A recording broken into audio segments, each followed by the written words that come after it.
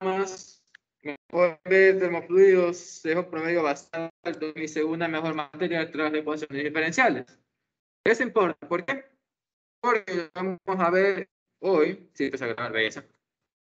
No se los voy a decir porque sí, yo manejo realmente este tema de fluidos. ¿Ok? Entonces, nota y presunción aparte, aunque les puedo mostrar luego el RP para que me bajen el humo. Vamos a empezar con la clase de hoy, ¿sí? Entonces, como saben, ya nos toca ver mecánica de fluidos. Y mecánica de fluidos comprende dos partes, que sería la parte estática y dinámica, como hablando de fluidos. Tendríamos que eso se conoce como hidrostático. Ya me está dentro de pizarra hoy. E hidrodinámica. Este odio. Ayer cogía bien. ¿Qué no? Ah. Bueno. En hidrostática nosotros tenemos que algo tiene que estar quieto y ese algo es el fluido. Entonces, cuando estemos en hidrostática, vamos a hablar siempre de velocidad de fluido igual a cero. Es decir, está en reposo. ¿Ya?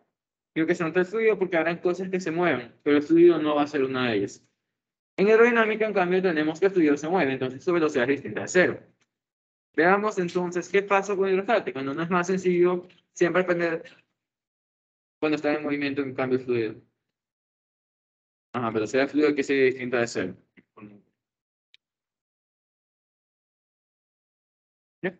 En una cero, la otra es distinta de cero. Ok. Entonces, eh, nada, estamos en hidrostática. Ya, vamos a empezar con hidrostática porque siempre es más sencillo empezar con las cosas que están quietas y luego ver qué pasa cuando se mueven. Por eso es que digo que estoy en contra que se enseñe en primero hidrodinámica, eh, dinámica rotacional y luego equilibrio. Pero bueno, así son las cosas. Entonces, ¿qué tenemos en hidrostática? En hidrostática nosotros vamos a encontrar algunos términos, siendo uno de ellos la presión hidrostática o manométrica. Tenemos eh, definiciones como densidad y una fuerza de empuje. Ya, ¿cómo se comporta en cada una de estas? Veamos. Primero, la presión, nosotros sabemos que es igual a fuerza sobre área. Y a su vez, esto está en pascales. Ahora, ustedes podrían pensar que esto tiene relación con la parte de elasticidad y de cierta forma, sí, por la ecuación, pero estamos en temas distintos. Entonces, esto no lo van a relacionar con esfuerzo, porque simplemente lo que comparten son las unidades. Son dos mundos diferentes. Dicho eso, damos esto y listo, definimos otras cosas.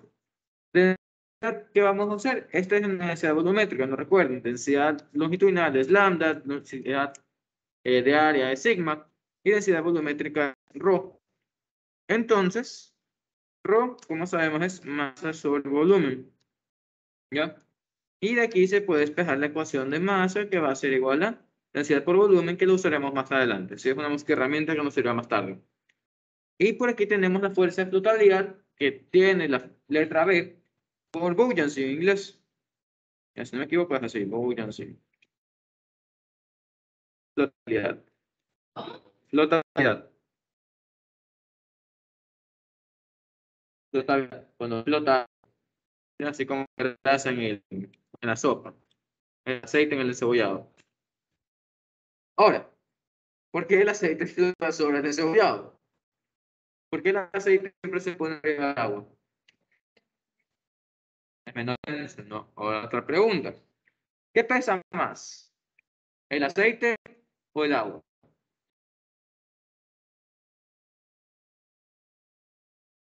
Es relativo.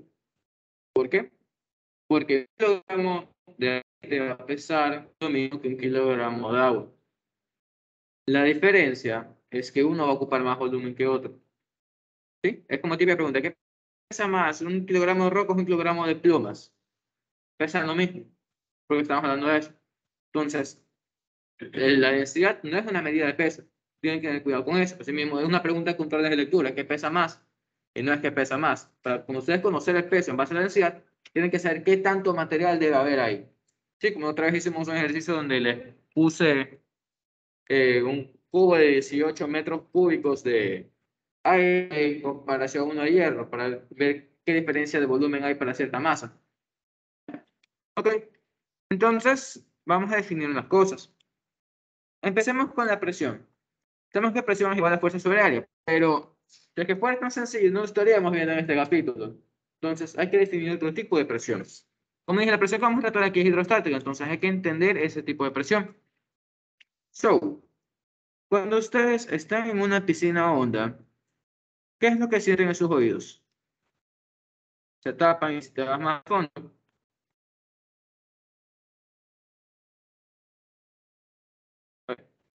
Si te vas más al fondo, ¿qué pasa? Te empiezan a doler. Y porque decimos duele por la presión. Pero, ¿cómo ocurre esa presión? Enfoquemos en la cabeza de la persona. La, la, la cabeza que tiene, tiene un área, ¿no? En la parte de arriba. Entonces, visto de arriba, esto va a ser como un cilindro. Es decir, aquí vemos la persona, es un círculo nada más. Ok. Ese es un área. ¿Y qué pasa con esta cabeza? Esta cabeza está aguantando encima una masa de agua. Se puede ver aquí. ¿Qué es lo que pasa cuando estamos aguantando un cuerpo sobre nosotros? Sentimos la carga, sentimos su peso. Es como que me pongo ahorita encima el termo de perro enojado. Voy a sentir el peso en mi cabeza. Entonces, ¿qué ocurre? Eh, las fuerzas que nosotros encontramos aquí no es nada más que el peso del cuerpo de agua que está arriba. Entonces vamos a definir la presión. Tenemos que presión, si bien es verdad que es fuerza sobre área, sería igual a peso del fluido sobre el área expuesta. Ok, ¿qué pasa ahora? Muchas veces en esos ejercicios no les van a decir qué masa de agua tienen. Ustedes les van a dar una altura nada más. ¿Por qué? Hay que jugar con el peso. El peso del agua o el peso del fluido aquí va a ser igual. Va a ser igual a la masa del fluido por la gravedad, ¿no? Ok. Entonces, una vez más, a nosotros no nos suelen dar la masa, solo nos dan altura. Entonces, ¿qué más hay que hacer ahí? Si vemos a la masa de agua como un cilindro, que vamos a ver, esto sería un cilindro de agua, ¿no? Entonces, es como que ustedes estén apilando botellones uno sobre otro. ¿Qué se forma? Se forma una columna de agua. Entonces, ¿qué tendríamos?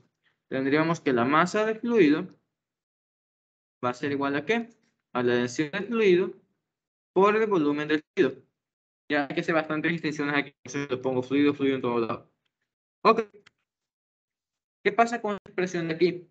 La densidad del fluido puede ser no conocida, ya dependerá de la extendante, pero pasa algo con el volumen. Lo que estamos viendo aquí es siempre un prisma. No, en este caso es un cilindro, pero tranquilamente puede ser un prisma cuadrado, un prisma rectangular, lo que sea, no me importa. A fin de cuentas es una columna, es algo que tiene altura. Entonces, el, volumen de ese prisma que es igual siempre, chicos. ¿Qué? No, que es una columna de cualquier cosa. Va a ser igual al área por altura, siempre. ¿Ya? Por eso es que el volumen de un, de un cilindro es el área del círculo por la altura. El área de una, pero el volumen de una viga cuadrada va a ser igual al cuadrado por la altura. ¿Ya? Es decir, esto siempre es igual a área por altura. Entonces, reemplazando esta expresión aquí arriba y reemplazando esta expresión aquí arriba, tendríamos que la presión es igual a, el masa de agua sería densidad de fluido por el volumen de fluido, que es igual al área por la altura del fluido, y esto por gravedad, ¿no? Todo esto sobre quién está? Está sobre el área expuesta. ¿Qué se pueden dar cuenta? Tenemos área arriba, área abajo. Entonces, la presión de hidrostático, la presión de fluido, es igual a ρ, G y H. Ya, es la misma forma que más me gusta definirla a mí, como ρ, G, H. Pero una vez más, esto es Rho de fluido, la densidad del fluido, la gravedad del planeta en el que estén ustedes, asume tierra por lo general. Y por último tenemos la altura de qué? Del fluido. Ya, ¿por qué importa esto? Como estoy diciendo, esta es la altura del fluido, también se la puede expresar como profundidad. Y ustedes empíricamente saben que mientras más al nos vamos, ¿qué nos pasa, chicos? Más presión se hace, más daño nos hacemos los oídos, ¿no? ¿Por qué? Porque aquí está la ecuación. La altura es directamente proporcional a la presión. Pero eso no termina de explicar por qué a nosotros nos duelen los oídos. Porque la masa está de abajo, está empujando abajo, no te para los lados. Entonces, ¿qué ocurre ahí? Ahí tenemos que ver qué es lo que pasa con los fluidos. No, hace mucho tiempo y algunos meses, cuando estábamos viendo energía, yo les mostré el video de una funda de jugo. La dejaba caer sobre un mes que les dije, porque la funda jugo se expande. ¿Ya? Y eh, por un lado es por la energía, no porque intenta disminuir su eh, energía potencial gravitacional. Pero por otro lado, por, por el comportamiento típico de un fluido. Un fluido siempre busca dispersarse, siempre busca caer. Entonces, si nosotros tenemos aquí una, se me fue otra vez la palabra, no lo encontré ayer, eh, un dam, un contenedor con una puerta, y este contenedor está lleno de fluido, cuando nosotros abramos la puerta, ¿qué va a hacer el fluido? O sea, a los lados, ¿no? Se va a caer. Entonces, ¿qué está pasando? La presión hidrostática no solo hacia abajo, sino también es hacia los lados. ¿Ya? Entonces, tenemos presión hidrostática 1 aquí. Aquí, como tenemos más altura, tenemos presión hidrostática 2 por acá. Y más abajo tenemos otra presión hidrostática. La presión aumenta conforme vamos aumentando la altura o aumentando la profundidad.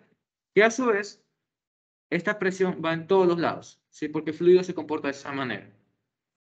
Dicho eso, dime. Mm, siempre la referencia suele ser eh, a ras del agua o a ras del fluido. Pero sí deberías poner. Parte de del agua, todo lo que va a ser negativo. La presión va a ser negativa. No, es, es, profundidad, entonces es simplemente guiarte con el valor absoluto. Sí, solo con la altura. Y esa fórmula, bueno, hay dos presiones que me confunden, que tienen esa misma fórmula que la presión atmosférica y la presión atmosférica. ¿Cuál es la diferencia de uno al otro? Ya, les explico, tranquilo. Ya. Ahora, algo más es que aquí ustedes no pueden cambiar su sistema de referencia, siempre es a ras del agua. ¿Por qué? Porque encima del agua, encima del fluido, ¿qué tenemos? Tenemos aire atmosférica. Y ese es un valor ya establecido. Entonces, si ustedes ponen su altura por aquí, o su y igual a cero aquí, ¿qué va a pasar? O tienen un cuerpo de aire que va a ser una presión de aire, pero es minúscula. ¿Por qué? Porque la densidad del aire es súper pequeña, entonces es casi no se aprecia. Lo que se aprecia es la presión atmosférica, que lo vamos a hablar. Pero lo que voy es aquí, tu presión manométrica, que es esta aquí, tu presión hidrostática, sería igual a la presión del aire más la presión del agua. ¿Qué pasa? Esta tiende a cero, entonces te quedas solamente con la presión del fluido. No importa dónde pongas sistema de referencia. Pero además, se lo pone siempre a ras del agua. ¿Ok? Listo. Y obviamente no puedes poner de abajo porque estarías despreciando la columna de abajo que está encima tuyo. Listo. Vale tu pregunta. Tú me estabas preguntando por qué diferencia entre presión atmosférica y presión manométrica. Es sencillo. La presión atmosférica es nada más que la densidad del aire por la altura de la columna de aire que tienes encima tuyo. ¿Cuánto aire tienes que estar aplastando en este momento? ¿Cuánto aire crees que tienes encima en este momento? Son cientos de kilómetros de aquí hasta la estratosfera. Entonces, eso se da igual a la presión atmosférica, que si no me equivoco es 1.03 eh, por 10 a las 5 pascales. Ya lo vamos a buscar, no me acuerdo del valor, pero si no me equivoco es eso. ¿Ya?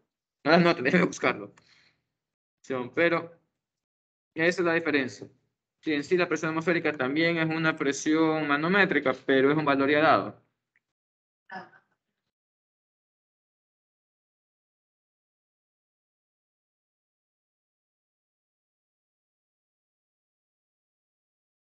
Atmosférica. Y voy a explicar por qué. Eh, aguanto. Eh, no, 13, se me fue. 1.013. ¿Ya? Ok, seguimos por 10 a las 5 pascales, eso no cambia. Listo, entonces, ¿cómo se relaciona la atmosférica con la manométrica? Cuando ustedes están debajo de un fluido, está bien, sienten la presión del fluido que es la hidrostática que acabamos de definir.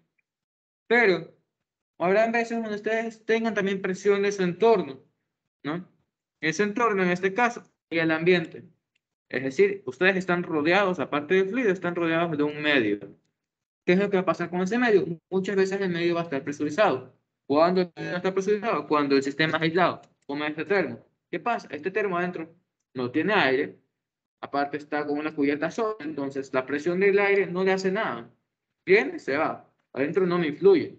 Es lo mismo que pasa con contenedores de gas. ¿Qué es lo que ustedes saben? El contenedor está lleno de gas, entonces tiene bastante presión dentro, pero eso no le afecta a la presión del aire porque es un sistema aislado. Está totalmente cerrado. Es decir, no está expuesto al ambiente. ¿Y por qué nos importa eso? Porque aparte de la presión eh, hidrostática, la presión atmosférica, tenemos un tercer tipo de presión que se conoce como presión absoluta. ¿Ya? La presión absoluta, ¿qué es entonces? La presión absoluta no es nada más que la presión del fluido, que es la hidrostática, más la presión de su medio. ¿Ya? Vamos a hacer un ejercicio bastante vago sobre eso. Digamos que estamos nosotros en un contenedor cerrado, en un tanque, una cámara de presión, que tiene un medio, tiene, no sé, presurizado, se me ocurre a 30 megapascales. Y debajo de eso nosotros tenemos 15 metros de agua. Y debajo de eso nosotros tenemos un dispositivo de medir la presión. Entonces nos preguntan qué presión siente ese dispositivo ahí abajo. Entonces, ¿qué creen ustedes que va a pasar ahí? Sentimos la presión de fluido, esa está clara. Tenemos que usarla sí o sí, cuando más es agua. Pero además, tenemos que algo que nos está presionando. Tenemos un gas que está expandido. Entonces, ¿qué es lo que hace el gas? No sé qué tengan ustedes con este tipo de problemas, pero el gas lo que quiere hacer es expandirse a todos lados. Entonces, lo que va a hacer es empujar hacia abajo también ejerce una fuerza, ejerce una presión. Por eso que la presión absoluta es la presión del fluido, que está más la presión del medio, que es el que está presurizado. ¿Ok? ¿Entendido? ¿Estamos bien? Sí, la presión del medio. Y si esta cosa fue una piscina de 15 metros por segundo, está abierta al ambiente, está abierta al aire, la presión no sería en 30 megapascales. ¿Qué sería? ¿Cuál es tu medio ahora? El aire. Ah, sería la atmosférica. Es nada más. Si vamos a calcular esto rápidamente, no es la gran cosa. Entonces, para tener la idea de respaldo, presión absoluta, sería igual a mi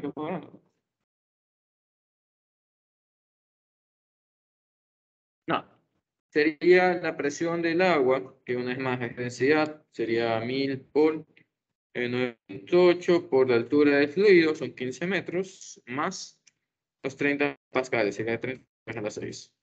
Sea, me fui mucho, pero bueno. Está mucho, vamos a poner 3, 30 por 10 a las 5.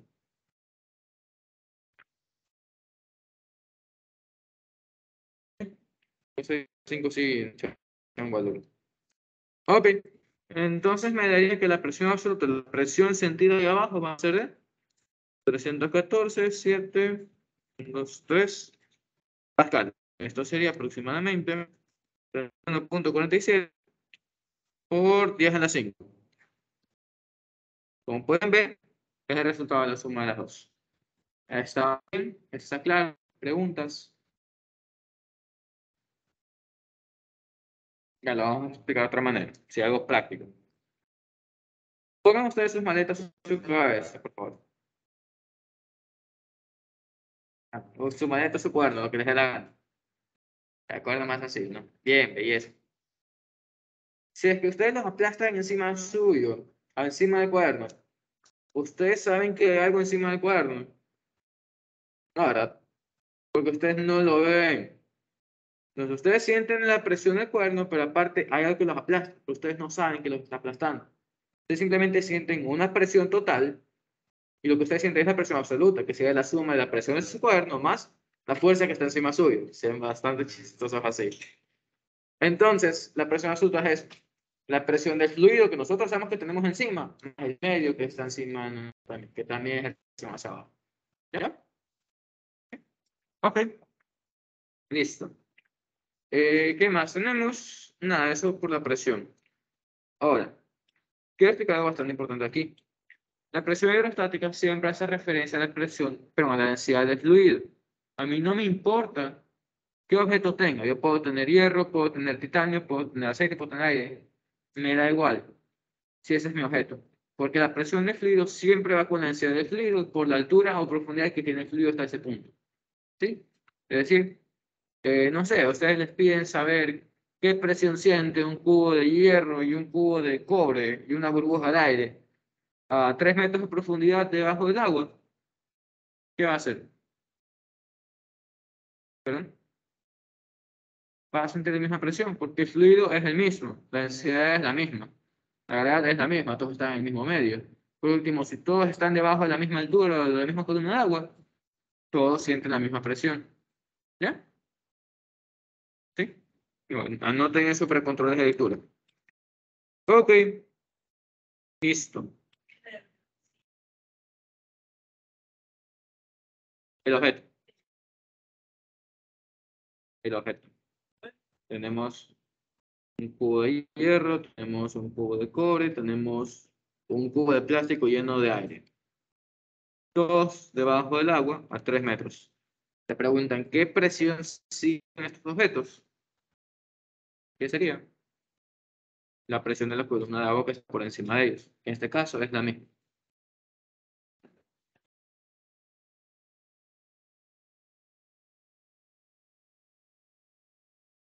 Dije que presión relativa cuando no especificas qué presión. Hay presión más numérica y presión absoluta. Eso quizá me refería cuando dije que era, absoluta, era relativo. Tienes que especificar qué está. Yo me te digo, es como que te digo energía cinética. ¿Cuál? ¿Rotacional o rotacional? No me estás especificando. Tienes que definir una de las dos. ¿Ya? Listo. Ahora tenemos que hablar de la densidad también. Miran, pero es algo vago. No, es masa sobre volumen, es un corazón partido, que es lo que les dije la otra vez cuando vimos en momentos de inercia de cuerpos sólidos. Y sí, realmente es esta fórmula vaga, pero es poderosa. ¿En qué sentido? Veamos. Nosotros tenemos que la densidad de un objeto va a ser igual a la masa de ese objeto para el volumen que ocupa el objeto. No parece la gran cosa, pero veamos un ejemplo donde esto sí sirve. Yo tengo una moneda y a su vez también tengo un barco. Ambos están hechos de acero. Obviamente el barco es más grande, tiene mucho más acero que el otro. Entonces, ¿qué pasa cuando yo pongo los dos en agua? ¿Por qué el barco flota y por qué la moneda se va para abajo? ¿Por qué? Mm, ya, ¿qué pasa cuando hay más volumen? Ya viste la fórmula, ¿no? Sí, 10 más. Pero bueno, creo que no se esto. ¿Perdón? Mm, pasa algo. Ya lo voy a explicar, que es con la ecuación de flotabilidad. Pero primero quiero explicar esto. Lo que ocurre aquí es que la densidad de estos dos objetos son distintas. Miran, pero le estoy diciendo que el barco también es de acero, es verdad. Pero, ¿qué más tiene el barco? Y no me refiero a que tiene personas dentro, tiene tablas, tiene ratas que están por ahí escondidas, no, está lleno de aire. Entonces, ¿qué pasa? La masa de mi barco este todo inmenso va a ser igual a la masa de hierro más la masa de aire sobre el volumen total del cuerpo. Ya, el volumen total a qué va a ser igual? Va a ser igual al volumen que tenemos de metal más el volumen que tenemos de aire. Por ejemplo, imaginen que el salón ahorita está vacío. Eh, mira acá, Jennifer. Yo tengo solamente la calculadora en el salón y les pido calcule la densidad promedio del salón. ¿Qué tendría que hacer? Sumar la masa de la calculadora más sumar la masa del aire y dividir todo esto para qué volumen. El volumen de todo el salón. ¿Y qué pasa con ese volumen? Es inmenso. Entonces, ¿qué pasa cuando yo calcule la densidad promedio de mi objeto, de mi salón? Va a ser muy pequeño. Porque tengo un volumen bastante grande. Lo que estoy diciendo es que un barco flota no solo por la ecuación de flotabilidad, sino porque la densidad del barco es muy pequeña. Esta densidad del barco va a ser menor que la del agua.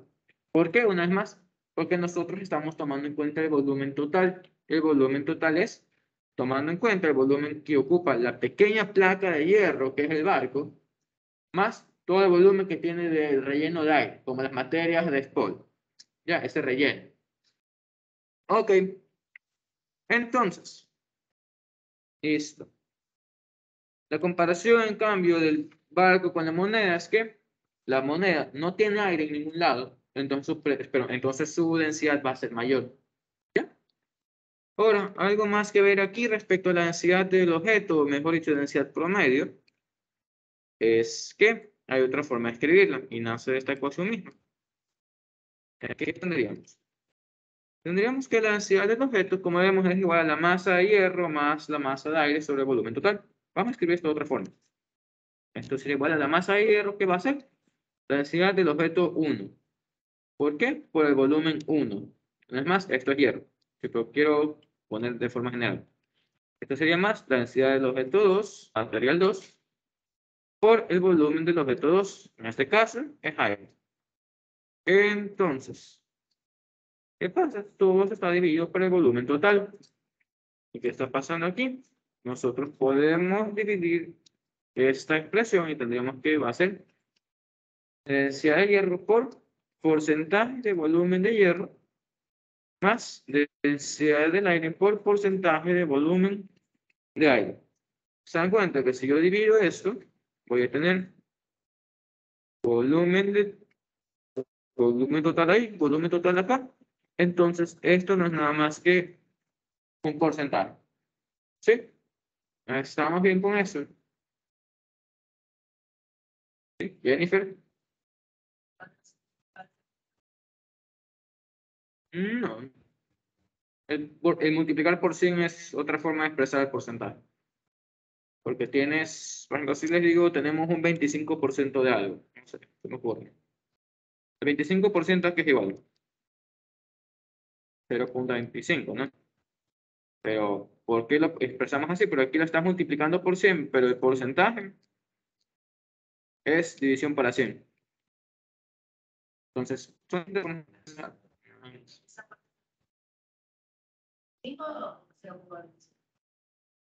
como 0,25. Sí, ya el número purito. Este es tu porcentaje. El número sin el signo es. ¿Ok? Entonces, y nada, igual se entiende, ¿no? Si yo, por ejemplo, no tuviera nada de aire, ¿a qué sería igual el porcentaje de volumen de aire?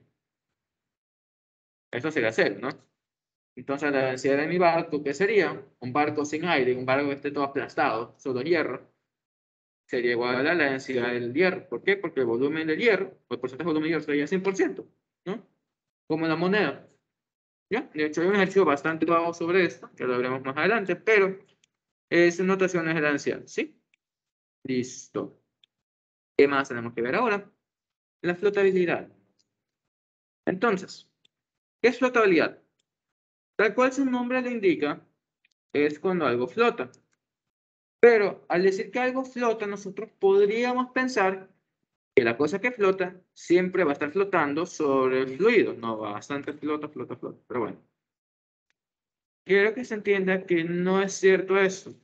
Ya, idealmente nosotros vamos a tener escenarios como este de aquí. Ok. Escenario como qué? Como un vaso de agua con hielo. Un vaso de cualquier otra bebida alcohólicos. ¿Pero qué pasa con el hielo? El hielo flota sobre el fluido. No, sabemos que hay una parte que está sumergida, tiene que estar metida, pero al fin de cuentas flota. Lo que quiero decir es que la flotabilidad no siempre implica que el objeto está flotando encima del fluido, porque nosotros tranquilamente podemos tener un objeto que está totalmente sumergido dentro de un fluido y también va a estar flotando, entre comillas.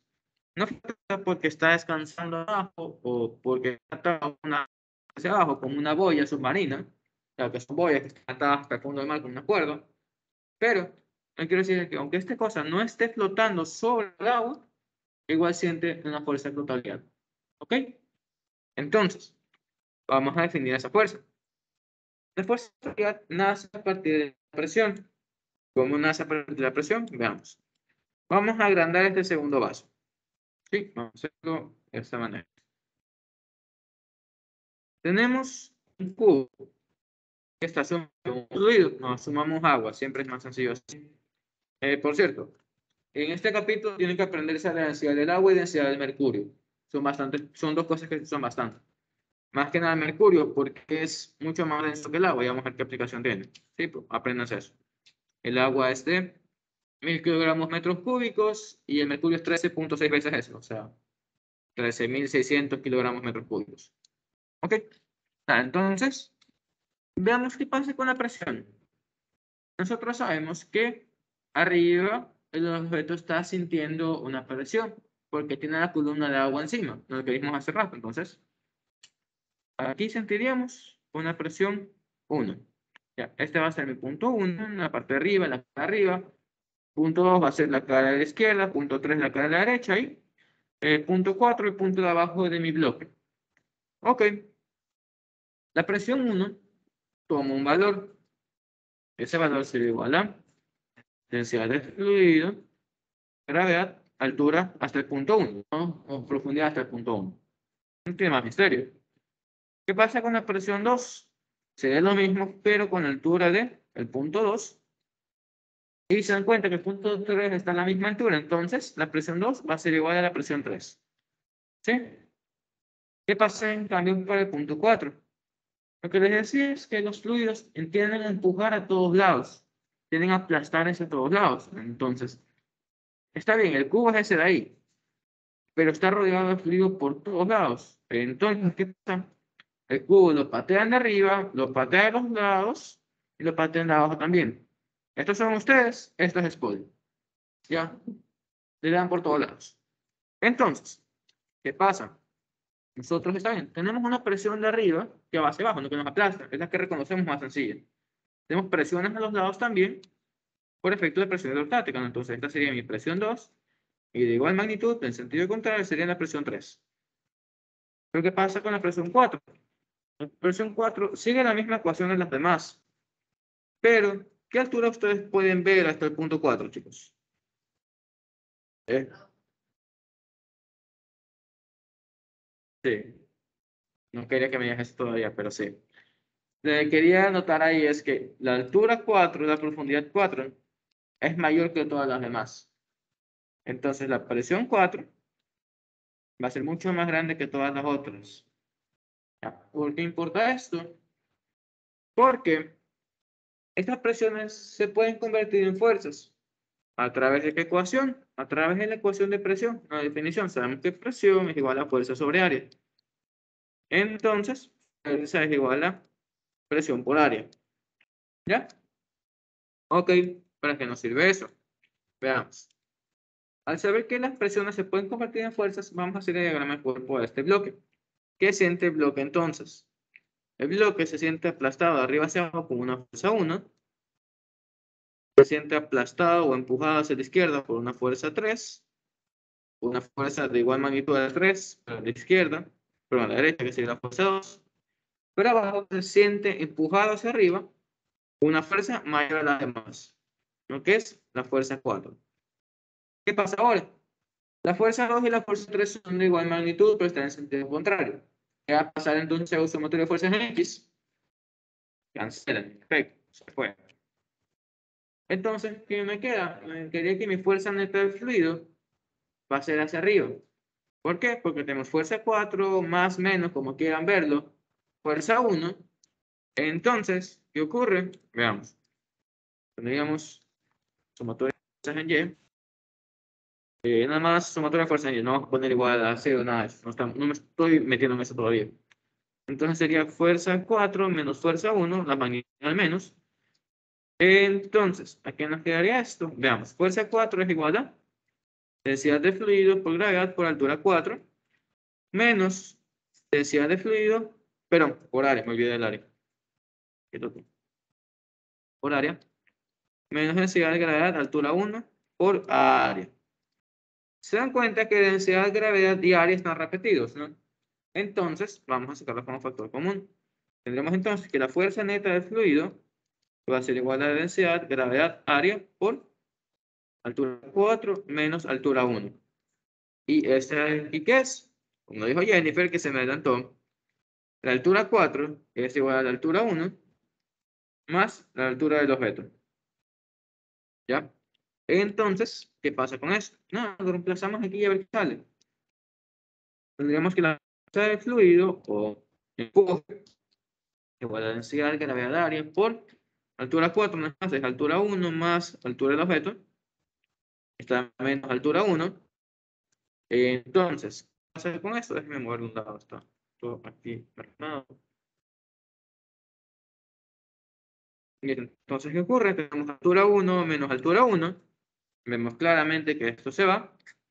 Entonces, ¿qué nos queda? Nos queda que la flotabilidad es igual a densidad de gravedad área por altura del objeto. Ahora, ¿qué pasa con esta multiplicación aquí? ¿Qué pasa cuando multiplicamos área por altura? ¿Qué es lo que dije hace rato de los papers? El volumen es el área multiplicado a cierta altura. La multiplicación la pueden ver como que se arrastra. ¿Sí? Esa es nuestra. Entonces, si la arrastramos a un tercer plano, una tercera dimensión, ¿qué hacemos? Hacemos que esto crezca, crezca, crezca. Al final tenemos un volumen. ¿Ya? Entonces, aquí está. Estamos hablando del área del objeto y de la altura del objeto. Entonces, esto sería densidad de gravedad por el volumen. ¿Sí? Ahora, es importante rescatar aquí. Una notificación es que están intentando entrar. Ah, esa no estamos. Es el A102. No, el básico, no. Es una fuerza. No, igual, eh, vimos la presión, ¿no? La presión es en pascales. Entonces, estamos estudiando pascal por área. Siempre la, la transformación sería newtons también. Bueno, sí. Ya, ¿qué es lo importante de definir o rescatar esta ecuación? Primero, una vez más, estamos sobre un fluido. El fluido es el que nos está empujando. Entonces, la densidad es la del fluido. Una vez más, depende en qué planeta estén, pero se sume tierra. ¿Y qué pasa con el volumen? Aquí les dije que era el volumen del objeto, pero solo porque el objeto en este caso está totalmente sumergido. Entonces, volvamos al ejemplo del hielo en el vaso. Vamos a suponer que el vaso está lleno. entonces, tendríamos aquí el agua hasta el borde y mi vaso todo feo. He hecho una burbuja que veremos por qué pasa esta burbuja, pero bueno. Si nosotros metemos un cuerpo ahí, como si fuera una piscina, una bañera que está totalmente llena, ¿qué pasa? ¿Qué le pasa al, agua si es que ya está llena y nosotros le metemos un cuerpo? Correcto. Entonces, lo que nosotros estamos haciendo al introducir un cuerpo es desplazar un volumen de fluido.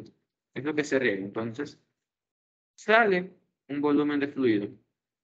¿Qué pasa con esto? El volumen de fluido desplazado es lo que va aquí. ¿Sí? La fuerza de empuje es igual a densidad creada por volumen desplazado.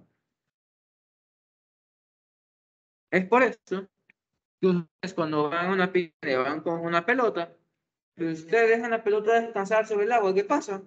No se hunde completamente, no, a menos que sea un material súper raro, pero bueno.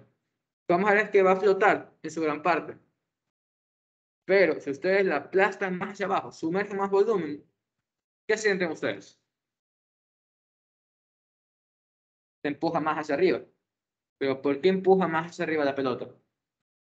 Porque el volumen desplazado o el volumen de objeto sumergido está aumentando a medida que tú aplastas más la pelota hacia abajo.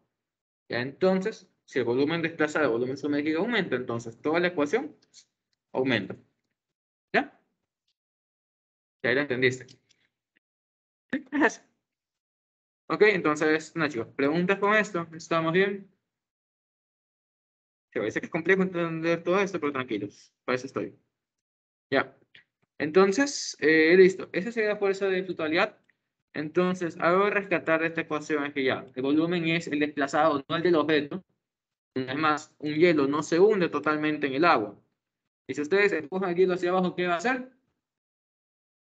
El hielo va a querer subir otra vez. ¿Por qué? Porque estamos aumentando bastante, estamos haciendo que quiera acelerar hacia arriba. Como yo tengo aquí el este perro enojado. Le aplico una fuerza hacia arriba, ¿qué va a pasar? Va a acelerar hacia arriba.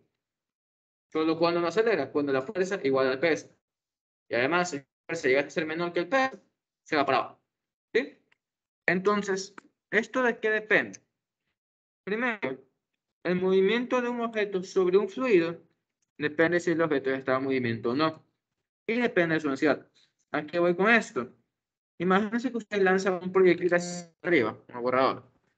¿Qué es lo que va a pasar? Acelera hacia abajo, porque la fuerza de la aceleración es hacia abajo. Entonces, vamos a suponer que aquí tenemos agua. Y yo disparo un hielo hacia abajo. ¿Qué va a hacer ese hielo? Se va a quedar abajo.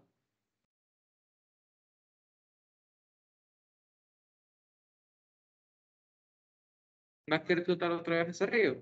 No va a querer moverse hacia arriba. ¿Por qué? Porque está bien. Tiene una velocidad inicial que es hacia abajo. Pero aquí vemos la interacción de fuerzas. ¿Qué fuerzas hay en mi sistema? El hielo tiene masa, entonces tiene peso, ¿no? La frasecita es. Está bien. Tiene peso. Pero además, ¿qué está haciendo? Está sumergido en un fluido, está desplazando un volumen de fluido, entonces se genera una fuerza flotabilidad hacia arriba. Entonces tendríamos que hay flotabilidad hacia arriba. ¿Y qué pasa? El hielo es menos denso que el agua, entonces va a querer subir. ¿Pero por qué va a querer subir? Es la pregunta. Vamos a hacer ecuaciones para eso. Y nada. Voy a inventarme. Me voy a asumir que la densidad del hielo es de... Se me ocurre de 800 Ya te explico. Sí. Esa es una pregunta.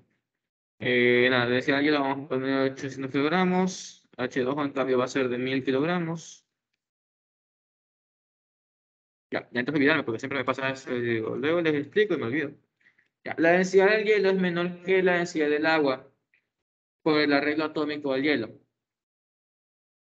Y nos vamos con eso. Está en A la densidad del hielo es menor que la densidad del agua por el arreglo atómico del hielo. Por ejemplo, ustedes en sus casas, obviamente tienen sus closets y o cajas de ropa, no sé qué tan sea qué tan esa situación, pero bueno, se dan cuenta que si ustedes doblan la ropa, ya sea ustedes la hagan en forma rectangular, hagan rollito, siempre va a sobrar un volumen entre los objetos, ¿no? un volumen de ropa y ropa. Si hacemos rollitos, por ejemplo, tengo un termo aquí, tengo un termo al lado, tengo un termo al lado, uno encima, siempre va a haber un espacio aquí. No, siempre va a sobrar un espacio entre los cuerpos. Entonces yo estoy dejando volumen. Y lo mismo pasa con el hielo. El hielo, si no me equivoco, tiene una formación hexagonal, más o menos. Son como que triángulos. Pero a fin de cuentas, ¿qué pasa cuando los átomos de hielo se arreglan? Están dejando bastante espacio y medio, ¿no?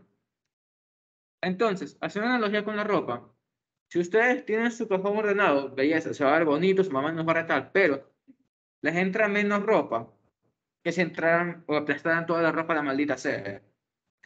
¿Por qué entra más ropa cuando aplastamos a la maldita sea?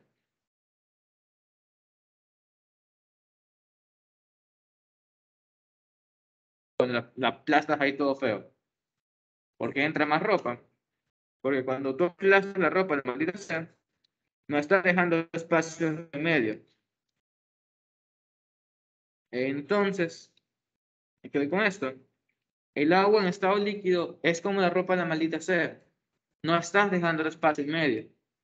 Pero el hielo, en cambio, se ordena bonito porque tiene más temperatura, menos energía. Entonces, el hielo sí deja espacio en medio. Entonces, como hace rato estamos viendo el ejemplo de barco, veamos qué pasa. Vamos a suponer que tenemos la misma masa de agua y la misma masa de hielo. ¿Ya? Entonces tendríamos que la densidad del agua va a ser igual a la masa del agua sobre el volumen de agua. No tiene gran misterio esta cosa. Pero ¿qué pasa en cambio con la densidad del hielo? Tiene la misma masa de agua, pero para el volumen del hielo en cambio. Ahora, ¿qué ocurre? Lo que estábamos diciendo el agua tiene menor volumen que el hielo. ¿Por qué? Porque el agua, hacerse hielo, se expande. No después ustedes ponen un termo en el congelador, se les va a explotar. ¿Por qué? Porque el hielo se relaja se expande. Entonces estamos diciendo que para un mismo cuerpo de agua, el volumen de hielo va a ser mayor. Entonces, ¿qué pasa si el denominador crece? El resultado disminuye, ¿no? ¿Mm? Ah. Entonces, sí, el resultado disminuye. Entonces, por eso que, eh, la densidad de hielo es menor que la densidad de agua. ¿Sí? ¿Te digo? Claro. Ok, listo. Entonces, eh, metan su ropa a la maldita es más eficiente. Ok.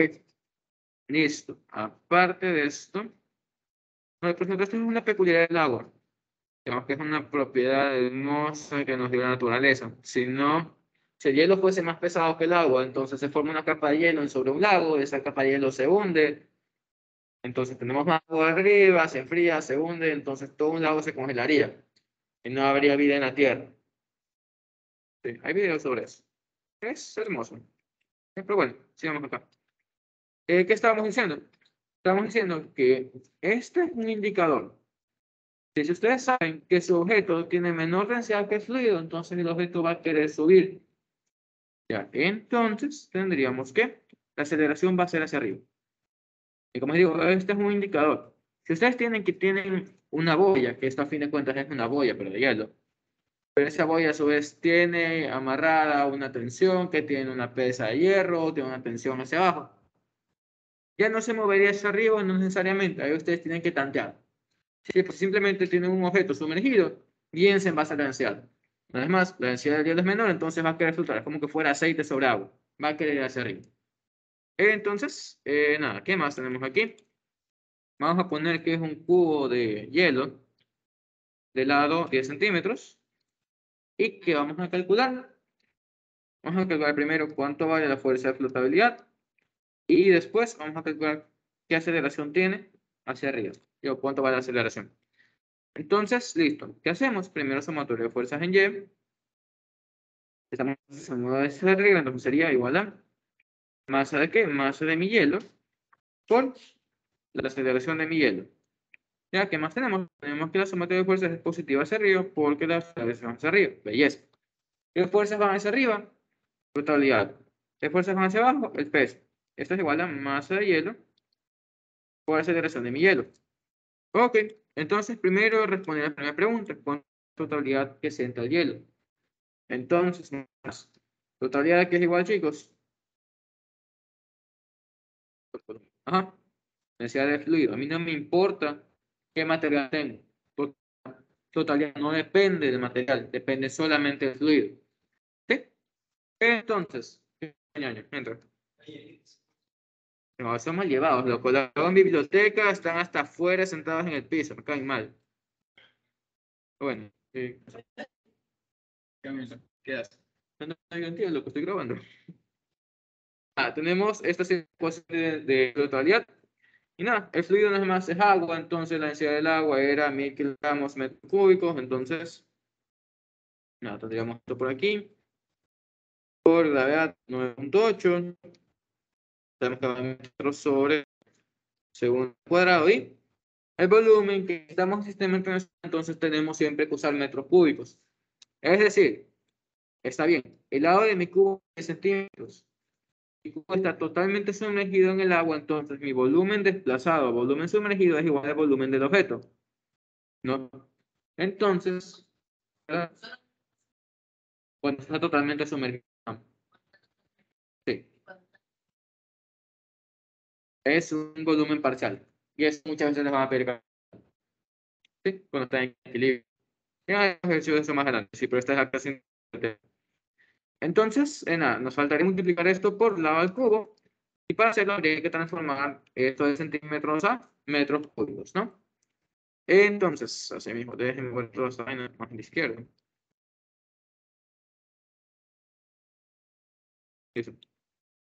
Entonces, nada. Eh, recuerden que, como estoy diciendo, entonces el volumen va a ser lado al cubo, pero tenemos lado al cubo son eh, 10 centímetros hay que pasar a metros cúbicos. Entonces, nada, así que aplican la conversión. Tendríamos centímetros abajo, un metro arriba, y todo esto vale abajo. Nada más. Ok, entonces, listo, te vas tú, te vas tú. Eh, nada, ¿qué más se va a ir aquí? Esto sería metros cúbicos, ¿saben cuántos metros cúbicos aquí? Nos queda kilogramos por metro sobre segundo cuadrado y sabemos que eso es newtons, entonces estamos bien. Tendríamos entonces que, nada, simplemente reemplazar en calculador. Sería 1000 por 9.8 y esto por,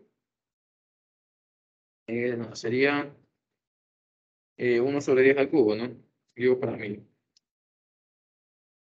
Por, no sé qué. ¿Ya? ¿Qué me queda? Me queda que mi totalidad va a ser igual a 9.8 newtons. Para la siguiente tengo que recordar no usar la odias, pero bueno. Y más allá de la coincidencia numérica de que es igual a la gravedad, ¿estamos bien? ¿Preguntas? ¿Todo claro? Si no, tranquilos. Ponemos lado 9, coge solución. Hay que calcular cuánto vale eso 9.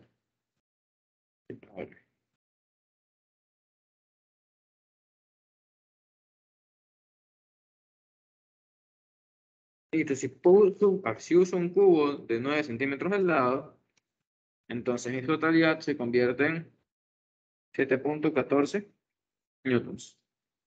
¿Ya? Más sencillo, así no se me confunde con el valor. ¿Estamos bien con el cálculo de la flotabilidad? Ok, listo. Eh, ¿qué? Queremos calcular la aceleración del hielo.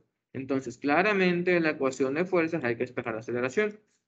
Tenemos entonces aceleración es igual a empuje que conocemos menos el peso del hielo, todo sobre la masa del hielo. Ok, entonces una un valor numérico ya conocido, el peso es masa de hielo por grado, entonces al dividir por la masa nos quiere simplemente grado. Entonces tenemos, tenemos totalidad sobre masa de hielo menos gravedad. Ahora, no sé ustedes, pero en, en ningún momento es la masa del hielo. Entonces, ¿cómo pueden hallar la masa del hielo, chicos? Con la densidad y con el volumen, lo conocemos. Entonces, además, usando la definición, sabemos que densidad es igual a masa sobre volumen, en este caso hielo sobre hielo. Entonces, la masa de hielo va a ser igual a la densidad del hielo, el volumen de hielo, que son datos conocidos. Entonces, ya ustedes reemplazan estos datos ahí abajo, obtienen aceleración y listo. Hacen lo que tengan que hacer. ¿Ok? ¿Estamos bien? ¿Preguntas con esto? ¿Todo claro?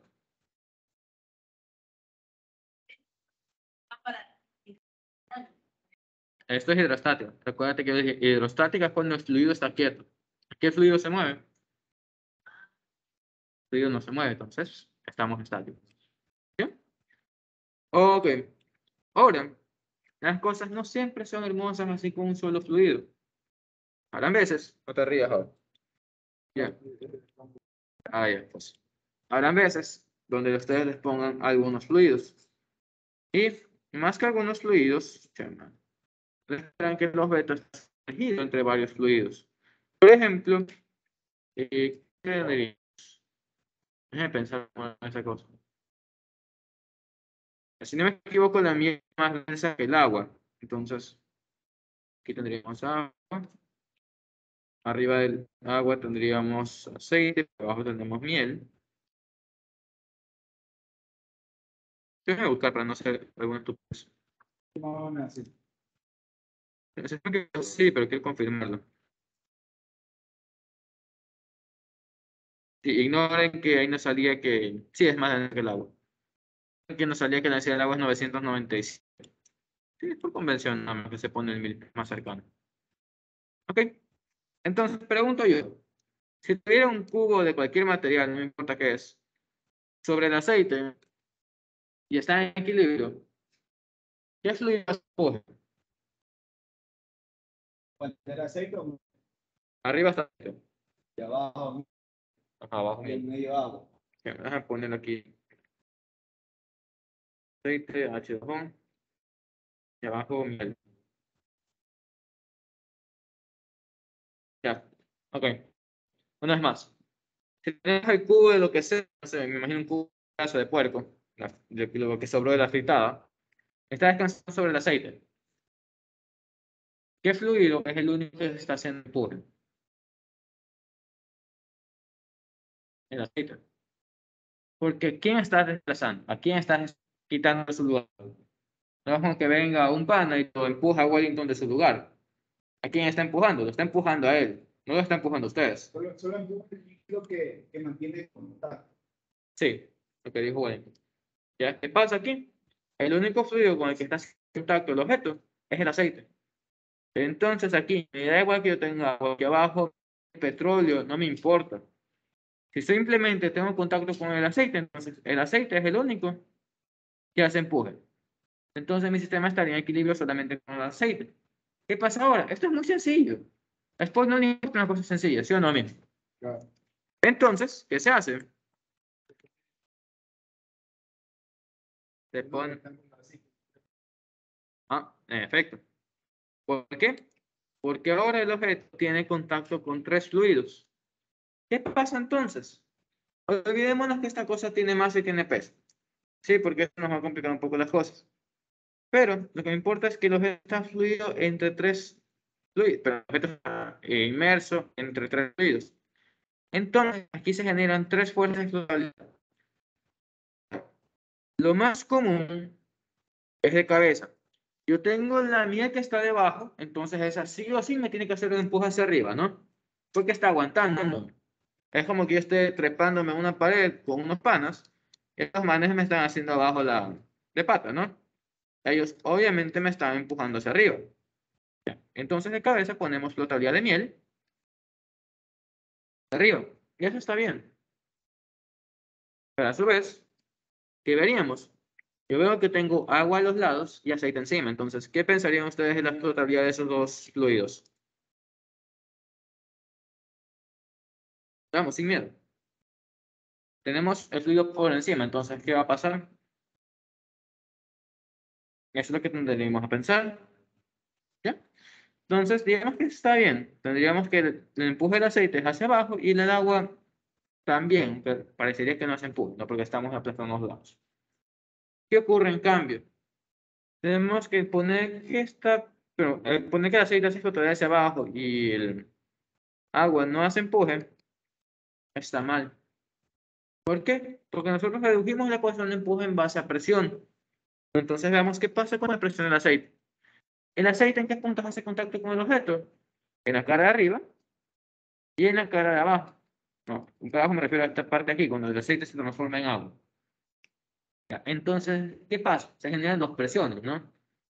La parte de, de- desde la cima del aceite hasta donde toca, ¿qué pasa? Hay una altura. Pero hasta donde se termina, ¿qué ocurre? Hay una altura más grande. Entonces, ¿qué presión es mayor? ¿La que está abajo o la que está arriba? Está abajo. Y esa presión que está abajo, ¿hacia dónde empujan? Hacia arriba. Entonces, ¿qué pasa? Aquí para el aceite, el empuje neto es hacia arriba. ¿Ya? Y lo mismo pasa con el agua. ¿Qué pasa con el agua? Tenemos contacto aquí, está bien. Aquí habría una presión, pero en este caso sería de cero del agua, ¿no? Pero mira que vamos bajando, la presión aumenta, ese mismo, en el punto más bajo, vamos a tener que la presión que nos empuja hacia arriba es mayor que la que nos empuja hacia abajo del agua. Entonces, el empuje de agua también es hacia arriba. Es decir, en resumen, da igual en qué parte de los objetos estemos, pero en qué parte de los fluidos estemos, la flotabilidad siempre es hacia arriba. ¿Ok? ¿Estamos bien? ¿Preguntas? Eh, La presión entre el aceite y el agua es cero, ¿no? ¿Cómo que la Cero, cero por el agua. Claro, en la interfaz sí. sí. Claro, es que no tienes, no tienes columna de agua encima, entonces no te hace presión. ¿Ya? ¿Estamos bien? Asumo que sí. Ok, entonces, nada, el hecho típico es que tienen este sistema aquí, pero obviamente el objeto este tiene masa, y les piden calcular qué porcentaje de volumen está metido en la miel, qué parte está en el aceite, qué parte está en el agua. Depende de la ecuación. Si nada más sumatoria de fuerzas en Y y ves qué relaciones le dan ustedes. Pero más allá de las ecuaciones que trabajaremos más adelante. ¿Estamos bien? ¿Todo entendido? ¿Sí? Ok. Listo. Ahora, aprovechando el dibujo este. Ya. ¿Qué me había olvidado hace rato? La de- de- la presión. ¿Ya? ¿Qué pasa con la presión? Cuando dijiste ponerse a ustedes los cuadernos sobre la cabeza, dije que ustedes tranquilamente pueden tener otro objeto más encima de ustedes, pero ustedes no lo ven, porque el cuaderno bloquea su visión. Entonces, vamos a suponer que este sistema está cerrado. Si yo pongo una balanza debajo y les pregunto cuánto vale la presión aquí, ¿a qué sería igual esa presión? Ajá, no sumas tres presiones porque tienes tres fluidos ahí. Nada más. ¿Ok? La presión de la columna de miel, más la presión de la columna agua, más la presión de la columna aceite. Y ahora, si ustedes no saben que tienen tres fluidos distintos, yo les pregunto, calcula la altura que tendría la presión de miel. Si fuera tu único objeto, ¿qué pasaría? Ya, imagínate que no tienes tres fluidos, solamente tienes miel. Te pido que calcules la altura de esa torre de miel. Tienes dos presiones equivalentes. Ya imagínate que de un lado tú estás cargando tu maleta, vamos a asumir que pesa 5 kilos. Yo te reemplazo la maleta por una pesa de 5 kilos. Tú no sabes que te cambié el objeto, simplemente tú sentiste el peso. Entonces te pregunto, determina qué altura tiene esa cosa, si es X material o es otro material. Te pregunto eh, qué volumen tiene una pila de algodón para que valga un kilogramo, ¿qué pasaría? Tendría que ser una pila bastante alta, ¿no? Te digo, calcula ahora qué altura tiene la misma pila, pero es de hierro, es más pequeña. Entonces, lo que ves es que te pueden preguntar una altura equivalente. Sí, para una presión. Es por eso que les había comentado que tienen que aprenderse la densidad del mercurio también. ¿Por qué? ¿El mercurio qué es? ¿Han visto mercurio? ¿Se les ha roto el, ter- el termómetro? Sí. Es un líquido. Ya, entonces el mercurio, ser un líquido, se puede usar para dispositivos que son de presión manométrica. Vamos a hacer un ejercicio bastante vago de eso. Ya digamos que nosotros estamos en una planta de tratamiento de agua y, y tenemos una columna de agua de, se me ocurren, unos 15 metros de altura. Calculen qué presión hay abajo, qué presión manométrica hay. Ya olvídense que el termómetro, lo que sea, no me importa. Pido manométrica, ustedes solo ponen roje H y se acabó. Ahora, ¿qué ocurre? Se está buscando instalar un objeto sobre esa cosa. Pero, digamos que es como una mesa. Ya. Pero la mesa no puede medir 15 metros de altura. Entonces yo busco reemplazar esa torre con otra torre, pero con otro material que me dé la misma presión. Entonces, ustedes van a calcular qué altura de fluido voy yo a tener que poner ahí. Si es que el fluido puede ser mercurio. Ya, como estoy diciendo, el mercurio es más denso, entonces va a generar algo. Y entonces, digamos que de manera rápida, la altura de mercurio va a ser menor, pero Hg, así es. Ya, y por aquí tenemos, esto es H2O, no está acá arriba. Entonces, eso, calculen la altura de mercurio equivalente. ¿Qué hay que hacer entonces? Primero tenemos que presión manométrica va a ser igual a densidad de agua, gravedad y por altura del agua, ¿no? Podemos hacer rato, calculemos eso. Sería 1009.8 y por 15.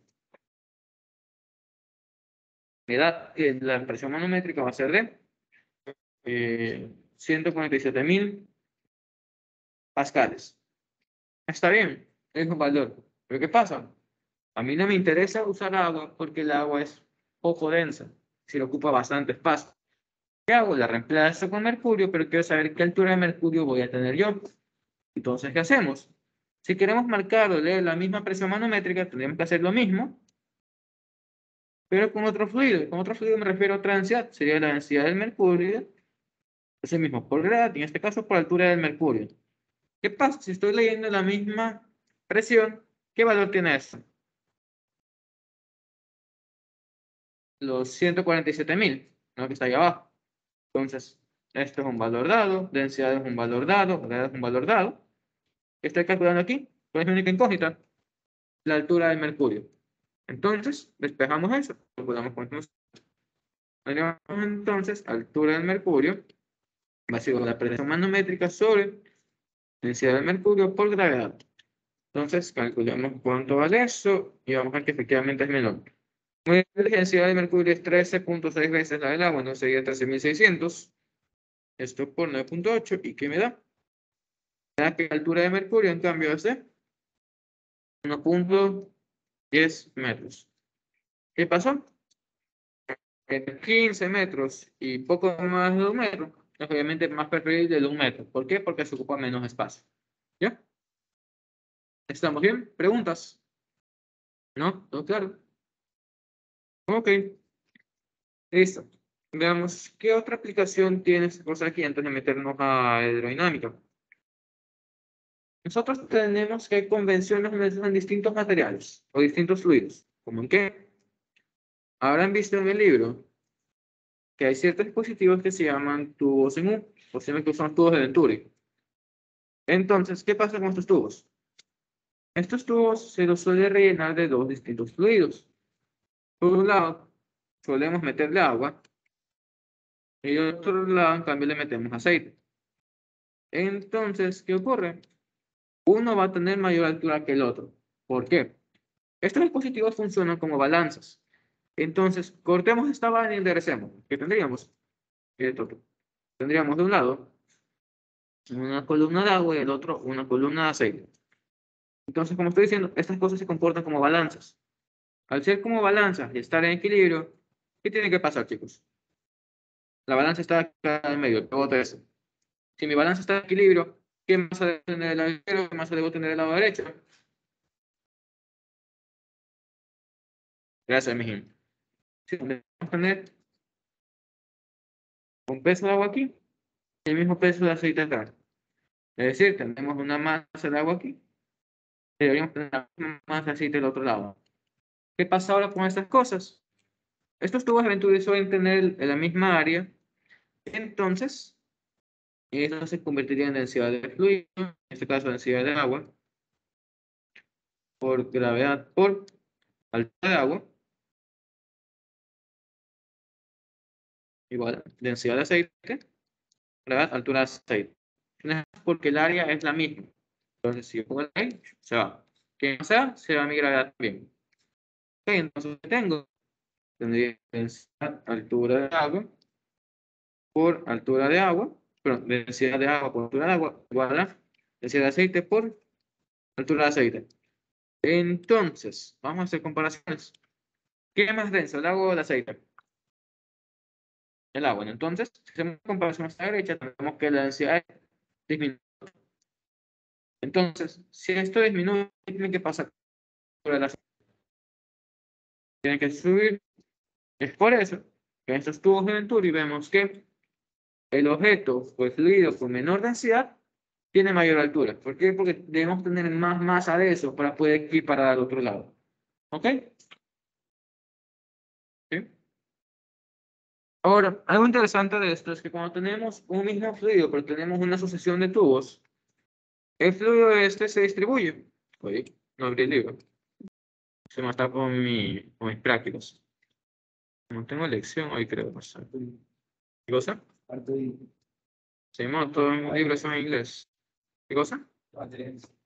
Materiales compuestos, lo cual es la única que nos puede estar haciendo reprobar este semestre. Es la que te conté que me metí en el pito con el profesor el primer día. Ah, sí, sí. ah, sí, montado usted. Luego les cuento esa vaina. Lo que estoy diciendo es, si tenemos un mismo fluido para distintos tubos que están obviamente conectados entre sí, la altura va a ser la misma en todos los tubos. Me da igual su forma. ¿Por qué? Porque la presión abajo tiene que ser la misma para todos. Recuerden que es una balanza. Entonces, si estoy hablando del mismo fluido, ¿qué tiene que pasar? La altura va a ser la misma. ¿no? Veamos la ecuación. Aquí, aquí dijimos que una altura iba a ser mayor que otra porque estamos hablando de fluidos diferenciales. Pero ¿qué ocurre aquí? Si el fluido es el mismo, como vimos hay agua, entonces tendríamos que la altura de un lado va a ser la misma altura del otro lado. ¿Qué es lo que podemos apreciar aquí si estamos todos esos tubos rellenos de agua? ¿Ya? Listo. Entonces, vamos a empezar con los videos. Primero, estuvimos hablando de totalidad y por qué. Aquí el man lo que hace es tener una tina llena de arena, pero esta arena se hace líquida, entre comillas. ¿Por qué? ¿Por qué quieren que el man se hunde? ¿Por qué esa arena se hace líquida? Lo que está pasando es que el abajo tiene unas mangueras, tiene unos tubos, perdón. Y lo que hace con esos tubos es inyectarle aire a la arena. Entonces, básicamente le está haciendo flotar. Está contrarrestando su peso con una fuerza de fluido que va hacia arriba. Entonces, ¿qué pasa? Hace que las cosas floten. ¿Sí? Más o menos, porque ahí la densidad. ¿Tú puedes decir que sí? Eso es lo que pasa con las arenas movedizas. Es porque hay presión. Ah, por eso es que se hunde. Pues, Y por cierto, si alguna vez llegan a estar en arenas movedizas o siendo más radicas en el lodo todo asqueroso de un, de un río, ustedes no se van a morir. ¿Por qué? Porque ustedes poco a poco se van hundiendo más. Entonces, poco a poco ganan volumen sumergido. ¿Qué pasa con ese volumen sumergido? Genera mayor flotabilidad. Entonces, habrá un momento donde esa flotabilidad igual a... Entonces, no se van a morir. Cuando no tienten. No poder nadar. Politécnico muere ahogado en, el, en arena. Mm. Entonces, ahí se pone a jugar con rutina de arena. Están las mangueras, estos tubos que tienen puntitos ahí que hacen que el aire fluya, pero bueno, se está generando una totalidad ahí. Las cositas que encuentran en casa. Ya. Eh, nada, nos encontramos aquí. Cambio, tenemos un video de Veritas donde también en la totalidad. Aquí, por ejemplo, tenemos una manzana. Pues esta manzana va a caer. ¿Y qué pasa? Que no había preparado el video, pero aquí en cambio tenemos un cohete que pesa muchas veces más que una manzana, obviamente. ¿Qué ocurre con esto? Nosotros deberíamos saber que para diseñar cohetes ser bastante precisos. Entonces, hay que tomar en cuenta todos los efectos físicos que hace ese cohete. Siendo uno de estos, el cohete no solo tiene más, tiene peso, pero también tiene un volumen. Entonces, ¿qué pasa si tiene un volumen y está sumergido dentro de un fluido que es el aire? Se genera una flotabilidad del aire. ¿Ya? Entonces, para diseñar los cohetes, para diseñar los cohetes, se tuvo que tener en cuenta el efecto es eh, el empuje. Y eh, por eso estas cosas tienen bastante calibración. De hecho, este es un laboratorio de la NASA.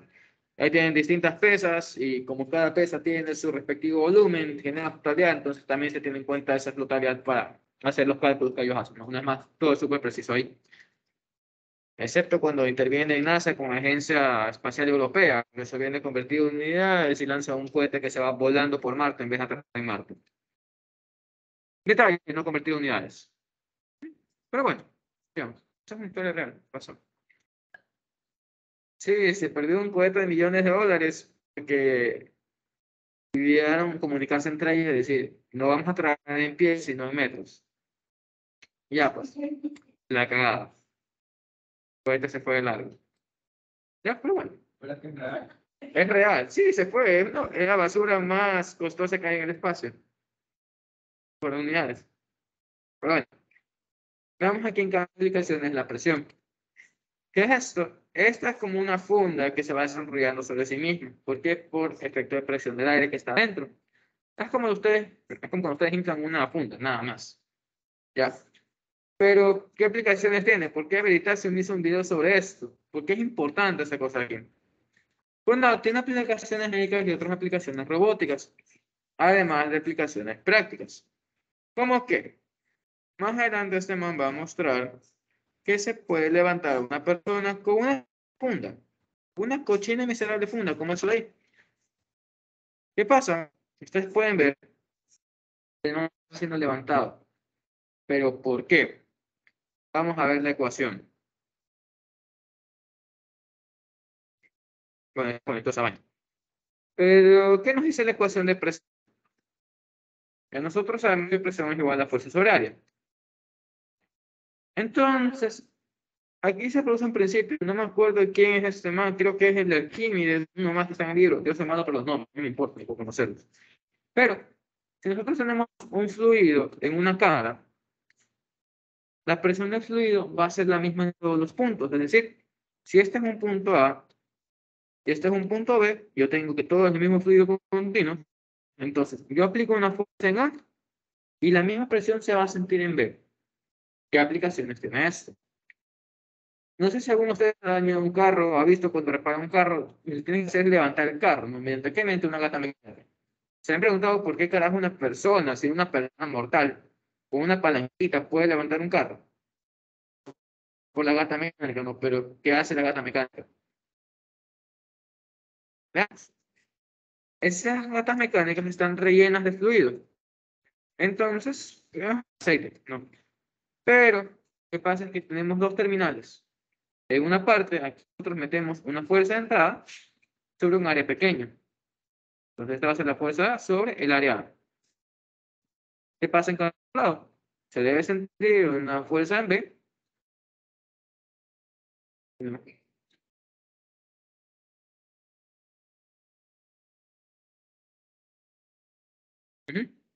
Entonces, como dijimos, esta es continuidad del fluido. Es decir, la presión en el punto A es la misma presión en el punto B. Lo que equivale a decir que la fuerza en A sobre el área en A es igual a la fuerza en B sobre el área en B, ¿no? Listo. De eso que tenemos, lo que está diciendo Dana. El área es pequeña. Entonces, ¿qué tenemos aquí? Tenemos que se aplica una fuerza pequeña, que es la fuerza que hace una persona, sobre un área pequeña. ¿Ok? No pasa nada. Pero ¿qué ocurre si el otro lado aumentamos el área? ¿Qué es lo que está pasando aquí? El área aumenta, todo este número tiene que ser constante. Entonces la presión del otro lado tiene que aumentar también. Pero la fuerza del otro lado tiene que aumentar también. Entonces, por eso que nosotros al emplear gastas mecánicas tenemos mayor fuerza de salida que de entrada. ¿Por qué? Porque simplemente se está abriendo el área, se hace más grande.